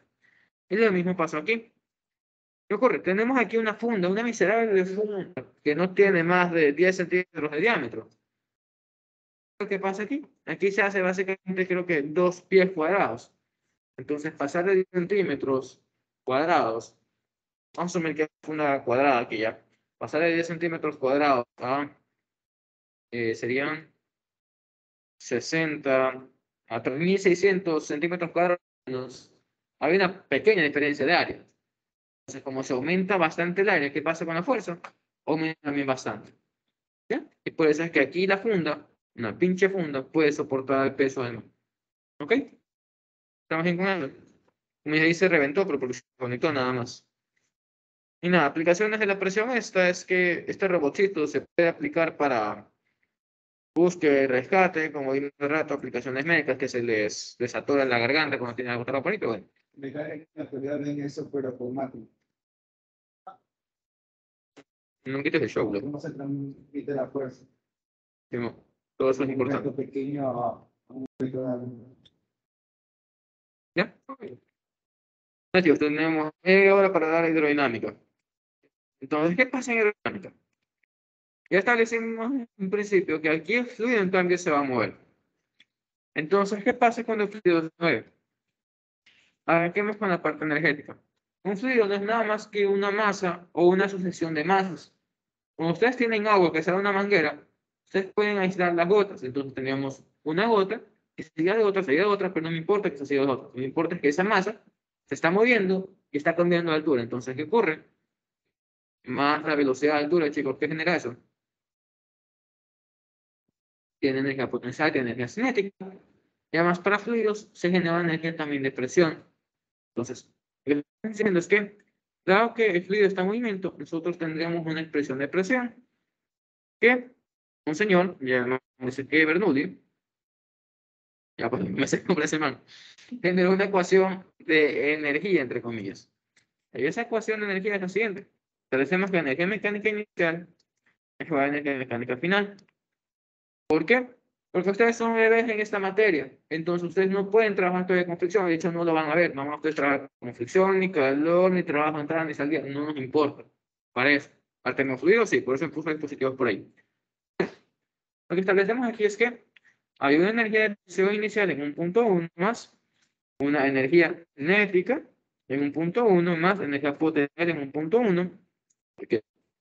Y como no hay pérdida de energía, entonces vamos a tener lo mismo para el punto 2. Y a mí me parece poder para el punto 2. Entonces vamos a ver qué pasa el punto 1. Estoy poniendo todo esto entre comillas. ¿Por qué? Porque aquí no trabajamos. ¿Sí? Bueno, estúpido. No, me parece una vaina. Aquí nos, no trabajamos ya como tal. Porque no estamos trabajando con masa como tal. Estamos hablando de una función de masa, entonces hay que hacer una conversión. Tenemos entonces que la ecuación de Bernoulli trabaja con densidades. Por ejemplo, energía cinética, entre comillas, va a ser un medio en vez de masa densidad, y esto por velocidad 1 al cuadrado. Que tenemos para la energía potencial sería lo mismo, pero con densidad. Gravedad, altura, en el punto 1. Y lo mismo para un punto 2, ahorita sí lo pongo. Pero más un medio rho, velocidad en punto 2, y más densidad, gravedad, altura 2. Ok, entonces como pueden ver, la parte de energía Simplemente tenemos que la masa se convierte en densidad y murió. Otra forma de verlo es que nosotros tenemos masa, o teníamos masa, y la masa milagrosamente se convirtió en densidad, ¿qué pasó? Toda la ecuación de energía se dividió para volumen, ¿no? Eso tenemos densidad. Y por eso se puede decir que es una ecuación de energía, pero volumétrica. Porque a fin de cuentas la ecuación cumple así. Tenemos masa para volumen Además, ¿qué tenemos? Tenemos que energía es joules. Joules son newtons metros. Dividimos para volumen, que son metros cúbicos, nos queda newtons para metros cuadrados. ¿Qué pasa con esto? Estas son las unidades de presión. Entonces, todo Bernoulli está en unidades de presión. ¿Ok? Bueno, Miren las unidades. Si tenemos presión más algo, más algo, para que esta cosa en sumen, tiene que estar en el mismo lenguaje, no en las mismas unidades. De cabeza presión está en pascales, entonces todo lo demás tiene que estar en pascales. ¿Sí? Como dice dividir. Esta es la cosa- la ecuación ya está. Sí. todo esto ya no. Sí, No sé qué esto- esta cosa. Igual la demostración está en el libro. Y les digo, también puedo pasar un video sobre esto. No lo incluyo ahí porque no es video práctico, es video de conclusiones explicaciones, pero yo luego les mando. Pero me hacen acuerdo. En tal caso, esta es la ecuación de Bernoulli. Como digo, es una ecuación de energía ideal, sin pérdida de energía por fricción, eh, cambios de dirección ni nada. ¿A qué me refiero con cambios de dirección? Si ustedes corren con la pared, obviamente no se quieren estrellar. Entonces, ¿qué hacen? Cambian de dirección para otro lado de la pared. Pero ¿qué ocurre? Ustedes, obviamente, desaceleran y cambian de dirección. No se van a la cabeza y luego cambian. Entonces, ¿qué pasa con el fluido? El fluido hace lo mismo en una tubería. Pero nada más, nosotros no tomamos en cuenta esa energía. Nosotros no nos importa porque eso es para las personas que ven mecánica fluidos o termofluidos, más adelante, en sus carreras. ¿Sí? Ok. ¿Sabes? Ok. Ella sí ve eso. Así es. Ya. Entonces, algo más que acotar sobre esta ecuación es que, como pueden ver, es una representación de energía. Es por eso que estoy buscando esto hace rato. Si esto es una diapositiva que se vio en termofluidos, y aquí con qué se trabaja, se trabaja con energía interna que hace referencia a energía de calor. No, tú no te esto, Jennifer, esto es más adelante, no te compliques. Pero, pero quiero mostrarles que existe. Sí, pero más adelante se tiene en cuenta la contribución de calor, fricción, eh, trabajo de entrada, trabajo de salida, eh, no, claro, calor de entrada, calor de salida, intercambiadores de calor, eh, trabajo de entrada, trabajo de salida, como en turbinas eléctricas, y que más de fricción por las tuberías. Sí, algunas cosas, pero eso nada más no les interesa a ustedes, pero es para que vean que sí se puede trabajar con fricción y pérdida de energía, pero no ahora. Ya, nada más. Entonces, a ustedes no les importa esto, lo verán más adelante en su carrera.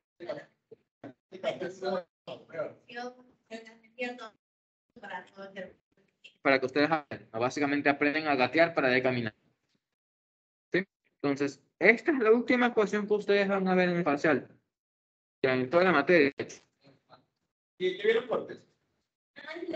Equilibrio, ¿sí? Que- Yo, yo vi primero este y cortes, ya. Bueno, no en mi clase.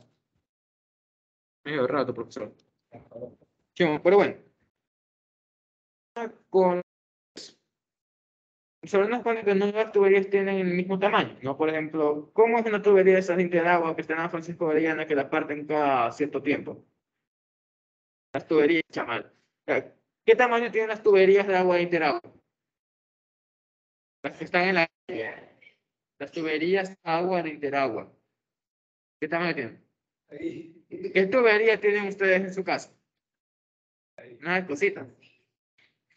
Entonces, hay un cambio de área. Ya es lo que quiero notar. Nosotros tenemos una tubería continua, de área continua, es sencillo entender un principio. Si nosotros metemos una bolita por este lado, tiene que salir en algún momento por otro lado también, ¿no? ¿Ok? Entonces, este es mi lado 1, este es mi lado 2. Estamos diciendo que la masa 1 sale por el lado 2. Entonces, masa 1 es igual a masa 2. Ahorita no estamos hablando simplemente de masas puntuales. ¿no? Sin embargo, esto de aquí se cumple por las leyes termodinámicas. No me acuerdo cuál es la primera, eh, si es la energía o de masa, pero es una de las dos. Entonces, ¿qué pasa? La masa no se crea ni se destruye, solo se conserva. Si toda la masa que entra a este lado sale por el otro lado. ¿Ya? ¿Qué pasa ahora? Estas masas no entran uno a uno en un sistema continuo, es decir, tenemos un flujo de masa. Es lo que se conoce como flujo másico, m punto. Esto es flujo másico. Entonces, tenemos que del lado 1, de 1 del lado 2 hay un área 2. Es el área transversal de esa tubería. ¿Qué pasa con estas áreas? Estas áreas por general van a cambiar, como que les estaba diciendo ustedes sobre las tuberías estas de Interagua que van hasta su casa. ¿Qué ocurre entonces? Veamos qué pasa aquí para tuberías pequeñas y luego qué pasa para esas tuberías de área cambiante.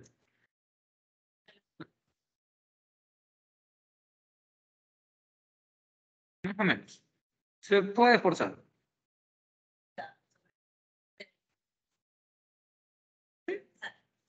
Así funcionan las turbinas eléctricas. Tú tienes un área inmensa que se hace en un área pequeña y eso, con esa agua empujas tú una turbina y te genera electricidad. Por lo que vamos a ver. También para regular eh, con qué presión, con la velocidad. Ahorita se sabe, por lo que yo le voy a explicar. Ahí te va. Simón, yo le voy a dar también. spoiler. Simón, Simón, spoiler. Ok, entonces, eh, nada, ¿qué tenemos? Imagínense que estas áreas son calles y ustedes contabilizan cierto tiempo cuántos carros pasan por ahí. Al final van a tener, van a tener que pasar, no sé, unos 5 carros por minuto. ¿Cómo se representa esto aquí? Tenemos que entra cierta cantidad de agua, da un tiempo. No es más, como la materia se conserva, tenemos que el flujo que entra por aquí es el flujo más por el otro lado. Es decir, el agua entra con una velocidad 1 y por aquí la agua sale con una velocidad 2. Pero ¿cómo relacionamos eso? Lo que tenemos aquí es un volumen de control. Un volumen de control es un volumen donde nosotros estamos analizando qué ocurre. Nosotros vemos que una gota de agua entra por aquí, ¿qué va a pasar? Da un cierto tiempo y va a estar en una posición. Y lo mismo pasa del otro lado. Poner el X aquí en cambio. Entonces, ¿qué tendríamos? Veamos. Flujo básico 1 sería igual, sería igual a masa 1 sobre tiempo. Y esto es esto sería igual a densidad por, ¿qué cosa? Por volumen 1. Y esto sobre tiempo. Estamos bien ahí, ¿verdad? Se va el volumen te pones rayitas arriba para diferenciar la velocidad que vamos a pasar. En tal caso, el flujo másico 1 es eso aquí. Ahora nosotros generamos otra ecuación, se puede decir, que sería esta división. Cuando nosotros tenemos volumen para un tiempo, lo que estamos definiendo es un caudal o flujo volumétrico. Este se denota con Q. Ya es una ecuación más. Serían metros cúbicos por segundo. Sigan la ecuación nada más. Caudal. Pero ¿qué ocurre con este flujo volumétrico? Vemos que el volumen, que sería, estamos hablando un cilindro, entonces el volumen 1 va a ser área 1 por el desplazamiento 1, ¿verdad? Tenemos, aislamos estas dos variables, desplazamiento 1 para el tiempo, tendríamos, digamos que flujo más 1 va a ser la densidad. Ah, Por desplazamiento para el tiempo es velocidad, en este caso sería velocidad 1. Entonces, tenemos que lo mismo pasa el segundo punto y nada más observación de la masa, estas dos funciones son iguales. Tenemos entonces aquí densidad por área 2 por volumen 2. Entonces, ahorita, esto aquí es lo que se conoce como principio de continuidad. Este área, continuidad. Si el es el mismo, entonces se va y me queda esto aquí. Área 1, volumen 1, pero área 1 por velocidad 1 es igual a área 2 por velocidad 2. Y eso me quiere decir que la cantidad que agua que me entra por esta es la misma que tiene que salir por el otro lado. ¿Qué aplicaciones tiene esta ecuación? Eso se ve mejor con una tubería de área cambiante. Un área pequeña de este lado, un área grande, ¿ya? El área grande que viene de Interagua y llega hasta sus casas como un área pequeña, ¿qué pasa con la velocidad? Esta es la tubería Interagua grande. Y en sus casas. 2 por velocidad 2. ¿Qué va a pasar aquí? ¿Qué pasa con la ecuación? ¿Qué pasa con el área aquí a este lado? En relación al área. No. ¿Qué pasa? Más, esta ecuación tiene que ser. Entonces, ¿qué ocurre con la velocidad? ¿Y dónde vemos esto? Ustedes ven una manguera y le tapan el huequito donde sale el agua. El agua sale más rápido. ¿Por qué eso? Porque estamos disminuyendo eso, entonces la velocidad se ve obligada a aumentar. ¿Ya? ¿Qué ocurre ahí? ¿Qué otras aplicaciones tiene este tipo de continuidad? Esto se aplica para algo que sucede aquí en la ecuación de Bernoulli. Cuando nosotros tenemos un edificio que está pasando, el área, las tuberías es grande, donde viene el agua, cada más pequeña. Como ya establecimos, entonces, entonces tiene que aumentar. ¿Ya? ¿Qué ocurre con la altura? Estamos hablando de un edificio, poco a aumenta, entonces esto de aquí aumenta, ¿no? Entonces, tenemos dos, una que está libre, pero todo eso tiene que Entonces, ¿qué creen que le tiene que pasar a la presión? La ecuación sigue siendo constante. Entonces, eso es lo que se conoce como presión. ¿Por qué cae la presión? Porque aumenta del agua y porque aumenta la altura. ¿Ya? Nada más. ¿Estamos bien con eso?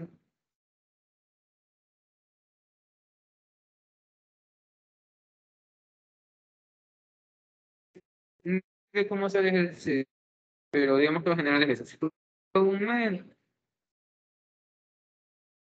eh, caída de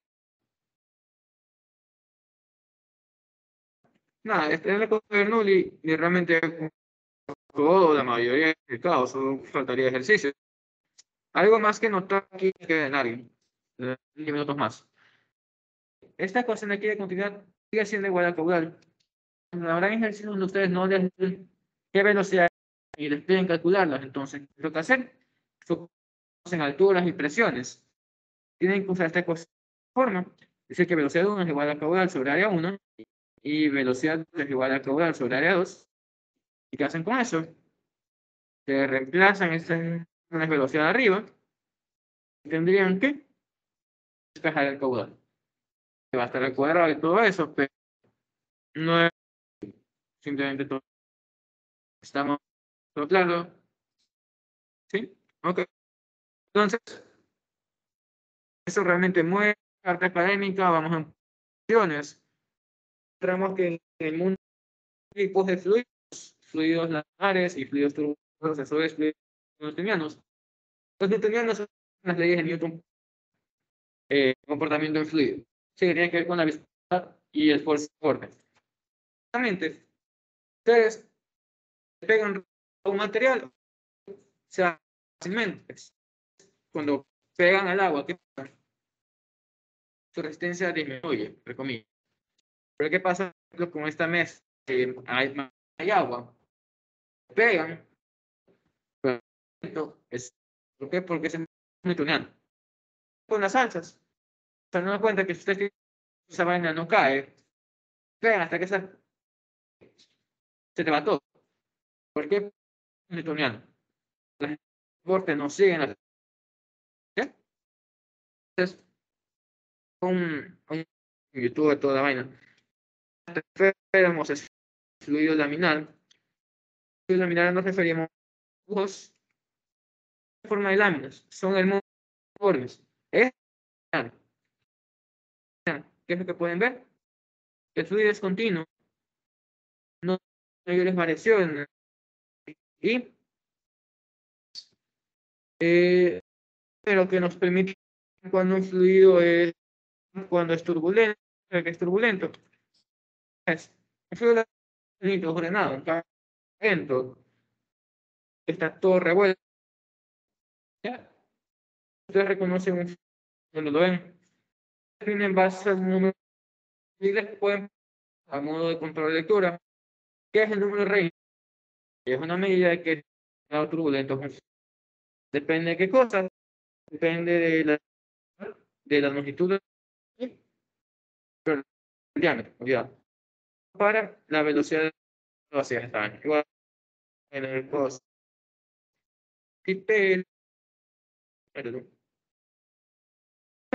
La mitad en cambio turbulento que porque es más viscoso. Más mejor así más bonito. Ya sin más en esto obviamente dinámica así se cómo se mueven los casos se comportan millones por ejemplo trae flujo laminal vamos a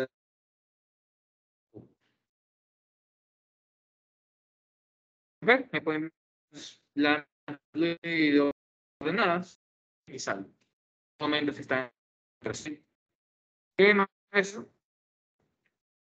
Ya esto hacia el final una reflexión, no me importa hacer la reflexión ahorita. Pero, como tiene baja velocidad a comportarse cuando tiene de forma un fluido. Eh, aquí lo que tenemos es mezcla de jarabe de maíz y que tiene, como se pueden dar cuenta, antes entre sí, porque más las distancias entre sí. De frente, como está todo mejor. Pero cuando lo revierten, forma original. Pasa más entre otros a la vez. Eh, de Allen Guayaquil, ningún carro se teme, ninguno para, no a nadie porque no se teme. Pero bueno, están todos. No. Entonces, la presión del man. Aguante. El es que están turbias están las cosas. Siempre cuando de manera metódica, casi todo se va a poder. Se vayan todos asquerosos. 15 me quieren botar estas manos.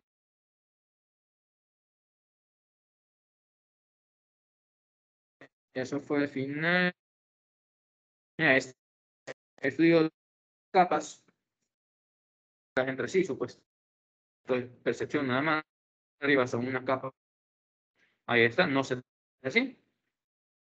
Hace la reversión y hasta que llegamos a la reversión, todo se puede es.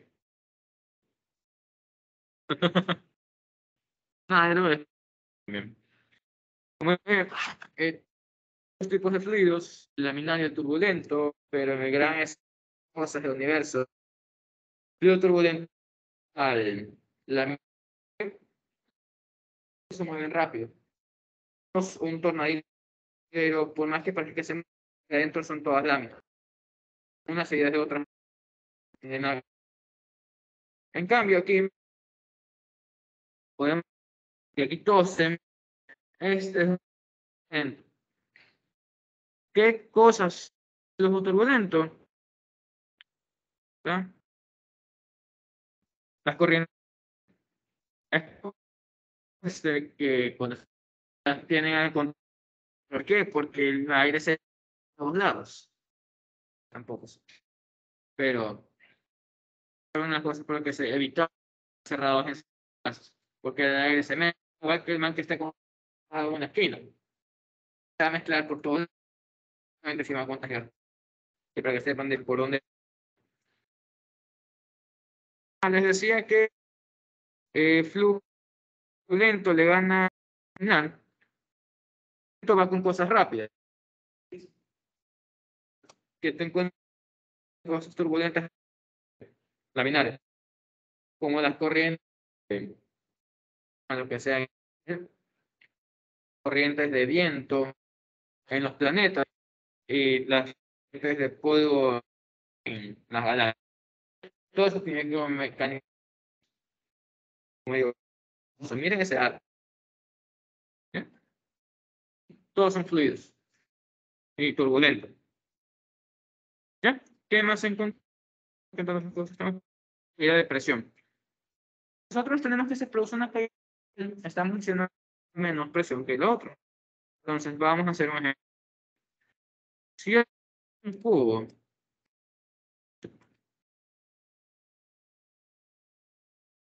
Ya, este cubo, tiene dos presiones. Yo tengo presión debajo de 5 pascales. Tengo una presión que también empuja de un par hacia un decremento. Obviamente, presión. Puede ver esto. Mm, Cosas de. Hay cosas, pero ya. Un video sobre fútbol. No sé nada de fútbol, no me pregunté que fue una test. Y ahí se explica eh, que ese man ah, es. No importa. Tiro. Se volteó. ¿Por qué se volteó? No, no es que. Tiene que ver por el. Por. Voy a dejar que esto. Porque ya. Del balón de fuego, sensaciones de una ronda de traslación. Tendremos gira. Y ya se se que la pelota corriente de va hacia abajo. También se produce que ocurre este. La pelota gira hacia abajo y la corriente aérea van a la como que ustedes vayan con eléctrica, pero que van más rápido. Tienen una presión, ¿no sienten? Cuando van, si la sienten. Entonces aquí, si presión, una mayor presión, hay menor presión. ¿Dónde prefieren? Y eso, campus, donde y aquí entonces recae en el. Lo mismo pasa con para el lado y puede que se produzca. ¿Estamos bien con eso? Sí, estoy yendo en. Yendo demasiado. Porque ya me quieren botar esos. Cuando vas en contra de la. Sí. Mayor presión. El efecto más. Ser. Utilizar un video más. Base de. Agua no, sino que al lado. También que se generan presión. Me pueden gustar. Ya. La aplicación, esto, digamos, que aquí que va a hacer es dar una moneda y la salte. ¿Cómo sal? No la tocó. No, no la baña. No pegó por ningún no, o sea, el vaso.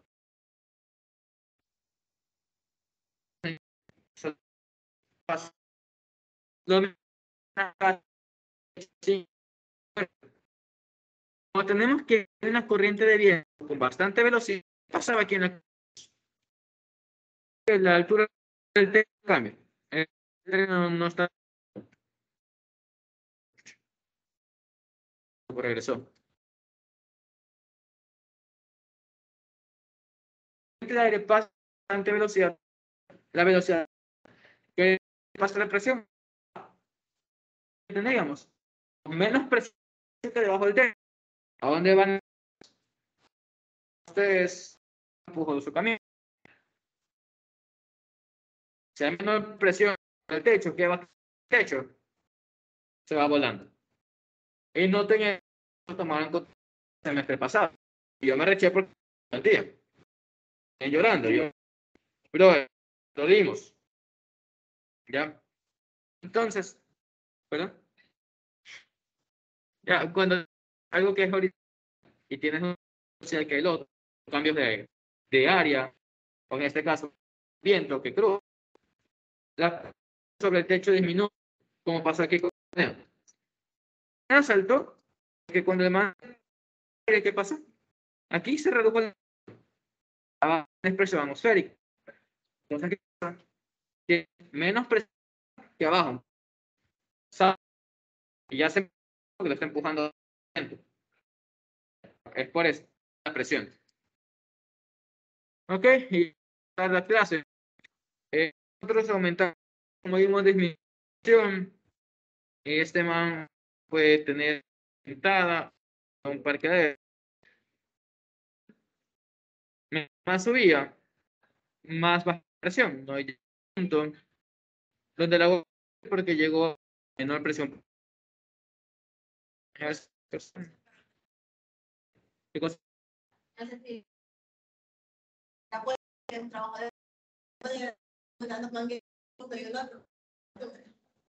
Es- vimos hace rato los tubos. Si el fluido es el mismo, siempre va a tener la misma